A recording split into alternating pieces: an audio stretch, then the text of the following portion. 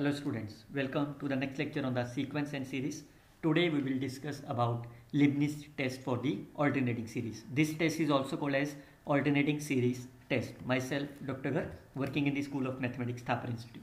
You can simply follow my YouTube channel Dr. Harish Garg where you are finding the various videos of the sequence and series as well as of the real analysis what we have discussed so far we have discussed all those tests in our previous video which are applicable only for the positive infinite series as of here. But in this lecture we will see how you can solve the convergence nature of this alternating series that is minus 1 raised to power n uh, for this alternating series there is a test called as the Leibniz test also called as the alternating series test that we will discuss in this lecture. But first of all what is the meaning of the alternating series? Any of the series which of the form plus minus plus minus are there is called as the alternating series. We can express this series in terms of here. If n is equal to 1 then the first term will be by positive, positive a1 minus a2 and so on. If it is there then again the first term is by positive then negative and so on and again in this case it is a minus a1 plus a2 minus a3 and so on. So in all these cases we can representing this as a alternating series. For example, you can see here the first term is positive, then negative, then positive, then negative. This is the example of the alternating series. Same for the second case example. Similarly, if you look about this, if I start from the n if nothing is given to you, then it means it's from 1 to infinity.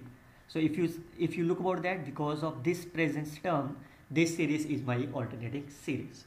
So how we can solve the convergence nature of this alternating series? Remember, whatever the test we have discussed so far that is the nth term test partial sum sequence geometric series ratio test root test are not applicable for such kind of the alternating series. So for that we need the Leibniz test. And this test is applicable only for the alternating series. Any alternating series is convergent if it satisfies these three properties. What are those? The first one is whatever this an it must be the positive it is a sequence of the an must be the decreasing and the limit is 0 when any when all these three conditions satisfied then we can say this series is convergent by using Leibniz test. How you can prove that it's a decreasing? So we know there are the two methods. First one is an plus 1 minus of an must be less than 0 for some n which is greater than of some numbers. Otherwise we can take that derivative and it should be less than 0 then it, we can say it's a decreasing sequence if any of the series does not satisfy any at least one of these conditions then the series is not convergent now once it is here if you look about that if since it must be 0 remember that it must be 0 if instead of this 0 if it's some say finite number which is non-zero then we can say it is a oscillating finitely series. It is not a convergent but it is an oscillatory finitely series. On the other hand if this limit is my infinite then we can say oscillately infinitely series are. We will describe about the 15 examples in this lecture so that you can able to understand it this concept very easily. So look at the discuss the convergence of the series. So clearly says that because of this presence term it is my alternating series. So we can apply this three step rule. So what is the AN? If you compare this series with respect to here, what is the AN? AN is nothing but my 1 upon ln. So we can check about this nature of it. Now clearly say that what is the n is? n is my natural number. So n definitely be greater than equal to 1. When n is greater than equal to 1, clearly says that this number is my positive. Because when n is equal to 1, it is my 0. So 1 upon 0 is infinity which is again a positive but it is for some n you can say n is greater than equal to 2 it is always positive. The first condition satisfied. How you prove that it's a decreasing? We can start with the an plus 1 minus of an. If you solve them you can see ln minus ln of n plus 1. So clearly says if you look about this uh, numerator this part ln because if you take n is say 1 so this is 0 this is my 0 minus ln 2 so which is again a less than 0 so it is less than 0 for all the values of the n or you can also take the derivative rule. If you take the derivative of this an what is the derivative of this? This is a minus of this which is again less than 0 for all n therefore this second property satisfied. Third property clearly says that log of infinity is 0 so we can say it's a here. So since all these three properties are satisfied so by using this Leibniz test this series is my convergent look about this next example again you can say it's a minus plus and then so on so which is an alternating series. What is the nth term of this? You can say what is the how you can write this? This is the minus of this. So the first term is 1 2 and so on. So I can say an is nothing but 1 plus 2 up to n. And here is n cube so 1 n is 1 it is a 2 so it is n plus 1 whole cube. This is my nth term so what is the numerator is? You can say this is a G, AP series. So the sum of the AP series I can return like of this. Now it will be 1 is cancel out. So the series becomes my here. Now we can check about these three properties for this. Clearly says that for all the natural number this number must be greater than 0 how you can prove that decreasing? You can start with here or you can take that derivative as per your convenience. You can take the LCM you can see it's a minus n square which is always less than 0 for all the values of n what is the limit you can clearly say that this is infinity by infinity we can apply the L'Hopital rule we will get as a 0. So therefore series is by convergent by using Leibniz test. You can see both the series are by alternating series. So there is only one test called as the Leibniz test applicable. In this case what is the an is 1 upon this. So which is clearly a positive number because in this case a must be the positive because otherwise root of a is complex number. How you can prove the decreasing sequence? You can simply take the derivative or you can take the an plus minus an. So in this case you can take like here. So clearly says that this number is a less than 0 for all n. Hence it is a decreasing. If you take the third property uh, that is a limit n approaches infinity which is uh, 0. So clearly says that by Leibniz test is a convergent. In this case, what is my an? an is nothing but my n raised power half, which is clearly a positive number because when you take n is 1, it's a 0. When you take n is 1, then it's a 0. When you take n is 2, then it's which is again a positive number and so on. You can take the derivative because it's it's sometimes it's not possible to find this as of here which is an plus 1 minus of an. So either you can solve like this way or you can take the derivative which is here clearly says that this number is my less than 0 for n is greater than equal to 2.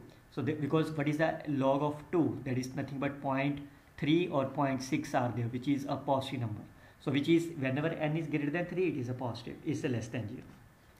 Also you can say limit what is the limit of the n raised to power 1 by n is always be the 1. So 1 minus 1 is 0. So therefore Leibniz test is a convergent series again this is a alternating series so we can apply this one. An is my here which is clearly say that it is a greater than 0 the first property satisfied. We can take the second property. Either you can take the derivative. Derivative is my minus because this number is always positive so due to minus it's a less than 0 what is the limit? Limit is my 1 which is a non-zero. What is the meaning of that? It means the third condition of the Leibniz test is not satisfied Therefore, series is not convergent. Remember, at least one of the condition violated, then it's not a convergent. But we already discussed that if this limit is a non-zero but a finite, then we call as the oscillatory finite series. It means this series is my oscillatory finitely series because they are check about the convergence of the nature. Similarly, for the second part, again, this is my an. You can write this number as here, which is clearly greater than 0 first property satisfied. You can take the an plus 1 minus an so this will be cancelled. Out you can see that if you take the LCM because of this minus it will be my less than 0 for all n. If you look about the third property what is the limit of this? It is a 1 which is a non-zero. It means it is not convergent. But you can see which is a finite.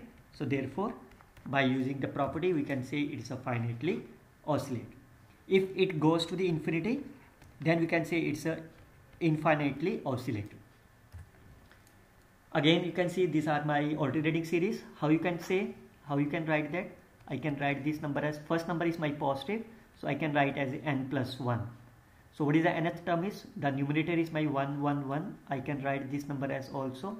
So what is that? This is here. This is number and start from the 1 to infinity. Or you can also write this number as 1 to infinity and is minus 1 raised to power n minus 1. That's the same thing for here. Again, this will give the first number as a positive. So the an is my here.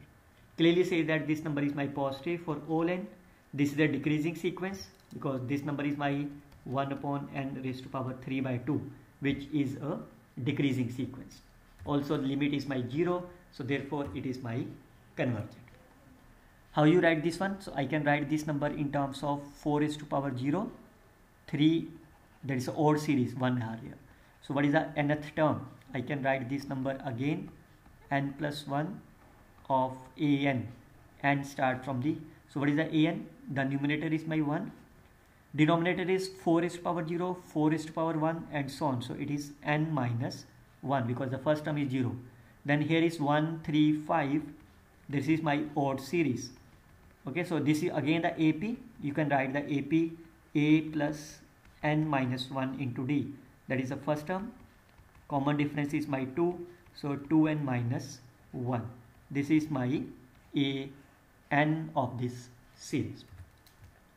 Now clearly say that this is number is positive because whenever n is my greater than or equal to 1 belongs to natural number this number is my positive this number is my positive you can can you take the derivative of this it is not can it's you can take as a u upon v but it will take some lengthy procedure. Uh, best way that you can take as a an plus 1 minus an i can take this common. Now you can see this number is always less than 0 it's a decreasing. What is the limit? You can say it's a 1 upon infinity. That's a 0 so by limit test is a convergent series. Look about the another. Again this is a infinite series which is alternating. So we can write this as n plus 1 what is that? This is x x square x cube this is x raised to power n. 1 1 1 this is x plus x square plus x cube so i can written as x raised to power n. This is 1 to infinity. So this is here so we can say this number is my an and we can check for the alternating series test. This is positive you can take as a ratio. Now you can say this number is less than 0 only when x lies between 0 and 1 so therefore this series is de uh, decreasing only for the x less than lies between 0 1 clearly say that why it's a 0 because whenever x lies between 0 1 whenever x lies between 0 1 so anything power of n as n approaches infinity goes to the 0 so this is a 0 how you write this series I can write this number as first number is positive so n plus 1 so 1 by 2 1 by 2 everything is common. It's 1 over ln. The first term is my 2 so it means I can written as n plus 1 and start from the 1 to infinity. Or you can write this number also as n 1 by 2 minus 1 over ln of n. But then you can start from the here as a 2 then in that case your first term is a positive then instead of this n plus 1 you have to write this as a n. So both have the same meaning. That's on your choice. Clearly say that is a positive number. You can take as in difference. Clearly says that this is always be greater than 0 so it means it is not decreasing. So once what is the meaning of that? The second property is not satisfied, therefore series is not convergent. Again this alternating series, we can check for the an, we can check for the derivative or for the decreasing. Clearly says that it is a decreasing or increasing. Look at that. What will happen if n is 1? So it is 1 plus 1 by 2 it is 1 plus 1 2 so that's a 3 by 2 minus of root 2 which is a less than 0 if you take n is equal to 2 so it is my root 2 plus half minus 2 plus root 2 so clearly say that it's a root 2 plus half this number is always be less than 0 look about the third condition if you take as a limit as n approaches infinity you can you can rationalize them you will get as here which is a non-zero so third property is not satisfied, so it is not a convergent. Look at that. Now there are the two of minus 1 are there. So firstly we can open this summation. Now in this case, this is a positive series. So clearly say that this is a positive series. It means you can't apply this Leibniz test for here because it is not an alternating series. So once it is not an alternating series, you can't apply the Leibniz test. So which test will be applicable here? You can apply the nth term test, you can apply the p test, you can apply the ratio test, you may apply for the root test and so on. So clearly say that this series is my divergent because of the p test. So it's a plus sign or minus sign whenever at least one of the series is divergent, the complete series is my divergent. However, if you look about this series, it's a negative series, uh, it's alternating series. So you can apply as a Leibniz test, which you can see that it is my convergent. Look at the second last examples are there, which is again given to you here you can start with the derivative. You can see which is less than 0 for all n which is greater than of e. Why? Because log ln of e is my 1 again you can see the limit is my 0 which is a convergent by Leibniz test. If you look about this example again this is a positive. You can take the derivative which is again the less than 0 decreasing and you can take the limit which is a L'Hopital rule you can apply that and you can say it's a 0 it's a convergent series. Again this is a very simple example. You can see whenever an is here which is always positive you can see a n plus 1 minus an you can take as a common. You can see this number is always be positive whenever n is greater than or equal to 1 because it's n minus 1 so it means it is a non decreasing so condition is not satisfied the series is not convergent. Look about this one which is positive series. Clearly say that it's also the decreasing. Also you may take as a derivative. What is that derivative is my here. This is minus of 2 2 and minus 1 whole square which is my less than 0 and the limit itself is 0 so it is a convergent series. Some questions are exercise for you. You can do it yourself. These four questions are there and these are, these are the answers some more questions are given to you. You can try to solve it with the help of this Leibniz test so that you can able to understand this concept more clearly we will see the next lecture on the absolute and the conditional convergence series. Till then you can simply like share and comment on these videos. Best of luck students. Happy learning